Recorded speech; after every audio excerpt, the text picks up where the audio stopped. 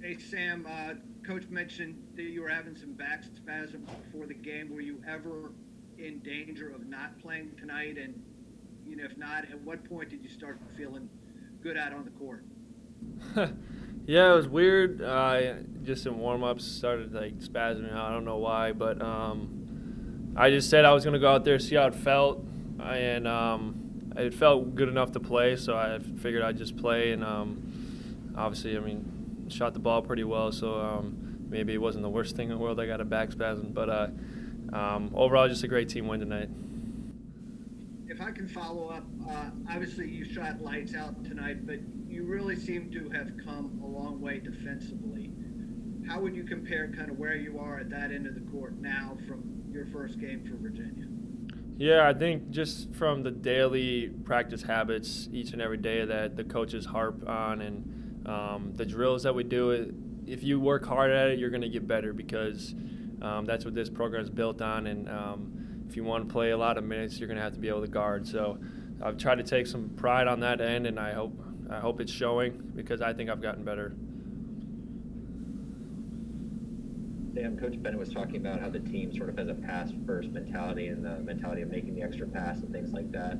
How helpful is it for you as a shooter when you got have guys like Kihei and Reece were sort of focused on finding shooters maybe rather than scoring. Yeah, I mean, it's just making the right play, honestly. Um, and those guys are really good at it. And I think even Jay, Trey, and myself, guys come off the bench as well. I think everybody has the mindset like, you know, we might have a good shot, but if we make one more pass, it's a great shot. So playing with unselfish guys is is awesome, and it showed tonight. And obviously, everybody kind of had their two cents on the game because of the, the way the ball moved. So um, it, was, it was a great job by everyone.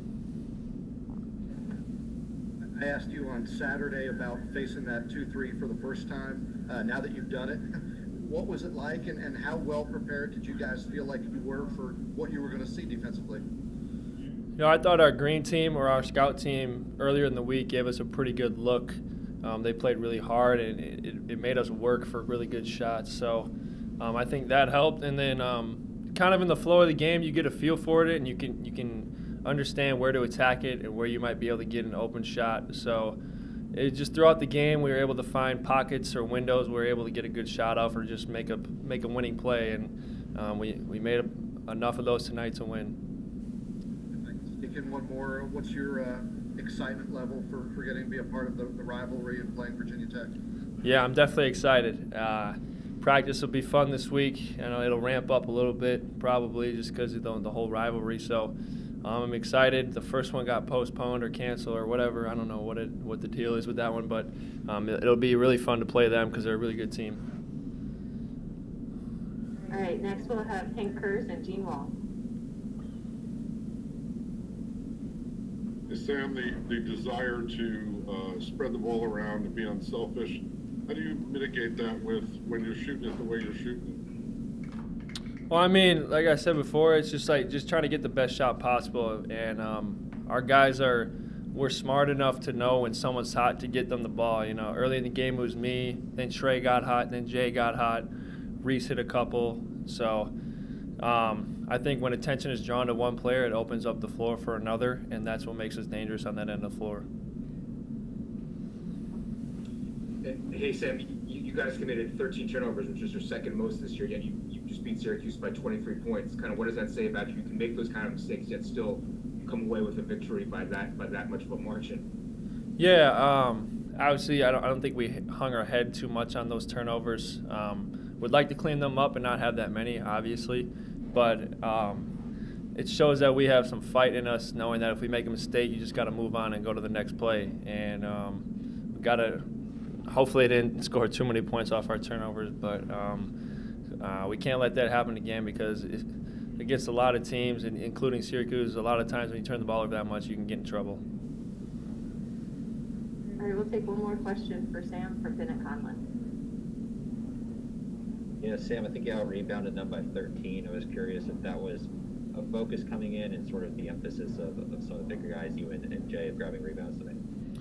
Yeah, I think it was a big game for rebounding for our guards like Trey, Kihei, and Reece because Syracuse really crashed the glass hard on offense. So um, be, being able to, to block someone out and go get a rebound is a hard thing to do. And I think those guys came back and helped uh, Jay and I rebound. But also on the offensive end, I think we attacked the boards pretty well too and got us some extra possessions. So um, I think that's just a point of emphasis on every single game for us, try to out rebound the other team. So we did that tonight, and touche to us.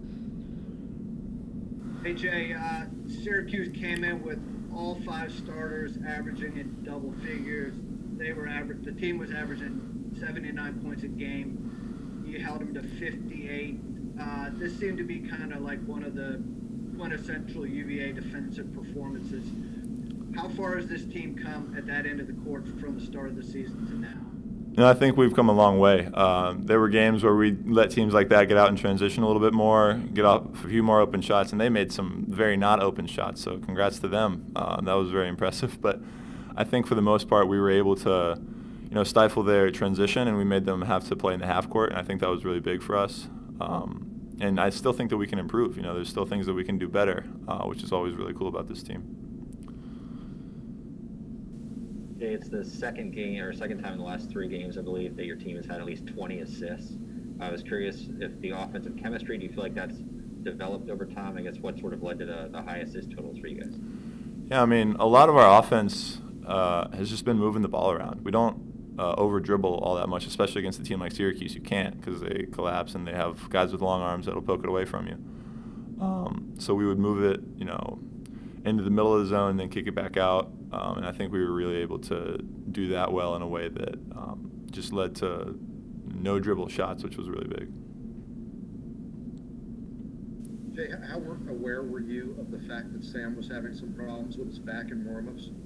Um, you know, when we got back out on the court after going in for the last time uh, to the locker room, you know, I noticed he had like a hot pack on. Um, he didn't let it phase him too much, obviously. Um, and it was it was actually really impressive because I, I know playing with a bad back is no easy feat, uh, but he didn't let it phase him too much, which was really good. How good a job did the team do of, of finding him when he got hot? I mean, that's the type of thing that you know against the team like Syracuse with the zone that they play, uh, a pass fake and then kick to someone different typically works well. And they left him open a few times at the top, which you can't do. Um, that's just that's got to be the biggest no-no that uh, the scouting report for their team probably said. Uh, and so we're just glad that he was able to, you know, get some open looks, which was um, obviously he connected and he uh, capitalized on it. All right, next three: Jerry Ratcliffe, Gene Long, and Brad Franklin. Uh, hey Jay, uh, with so many of your guys not having faced Syracuse's zone before, what kind of knowledge did you share with Sam and, and Trey and Reece? And uh, do you guys have some kind of special magic against that zone? You're, Virginia's eight and two against them. I mean, just the way that we, you know, prepared in practice with uh, the Green Machine, uh, who was able to prepare us just by doing what the Syracuse zone does pretty darn well. I mean, Syracuse recruits guys with long arms, and that's hard to replicate.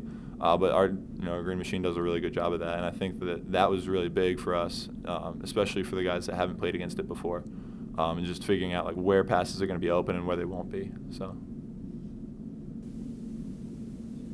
Hey Jay, you got more, uh, more than a handful of lob, lob assists from uh, from Kihei there. Because what about that chemistry was working, and how much did you kind of focus on that going into it, or was that just game flow that was able to happen? I mean, that's just something against Syracuse's zone. Uh, every once in a while, you're going to get one of those, um, which you know I think we can definitely exploit that in a lot of games because uh, it's hard to stop Kihei when he gets going down the lane, um, and if you stop him, then he's really good at making that pass. Um, and so it's it's a lot of fun when we can get a game going like that. Gene kind of stole my thunder a little bit, but um, I, I I haven't gone out and counted them, so I'm going to apologize in advance. But it felt like that was a lot of dunks for you. Um, when's the last time you had a game where you had that many dunks? It felt like you were all over the rim all night long. High school? Is that is that was that the maybe? I mean, there have been some games where I had a bunch, but I'll be honest, I got I don't know how many dunks I had. I'd like to know that stat, and I'd like to know how many I've had in college in general.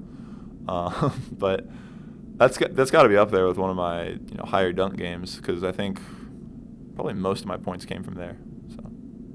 You, is that one of those things that you're aware of as it's happening, or is it sort of, you know, you look back on it and think, my, my hand kind of hurts? I'd say it's more look back on. Uh, I I try not to pay too much attention uh, to you know points or dunks or anything like that. I will say that I was paying a little bit closer attention tonight, uh, but that was just toward the end.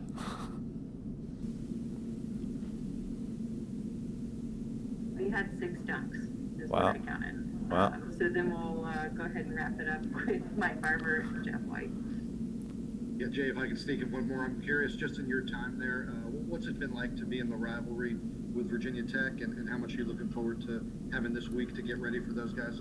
Oh, it's going to be a lot of fun. I mean, I know that uh, you know there won't be as many fans there, uh, but I know that my brother-in-law is probably going to be there, just screaming his head off. So we'll uh, we'll have a good time, and it's it's still going to be a fun rivalry. That's a you know in-state rivals are always fun. Is your brother-in-law UVA fan or a Tech fan? He's unfortunately a Tech fan. Um, we don't hold it against him too much. He goes there, so it's like you kind of have to. But um, I'm hoping he sees this and recognizes that I'm giving him a hard time. Thank you. Yep.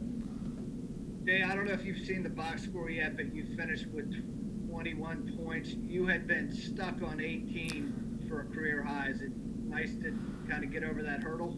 Yeah, so when I had 19 points uh, and I was on the free throw line and I saw a coach putting Francisco, uh, you know, getting ready to sub him in, I looked over at him. He was laughing at me because he knew I was wanting to get over the hurdle, and so I told him if I miss the first one, then I'm missing the second one because you're not coming in until I get 20.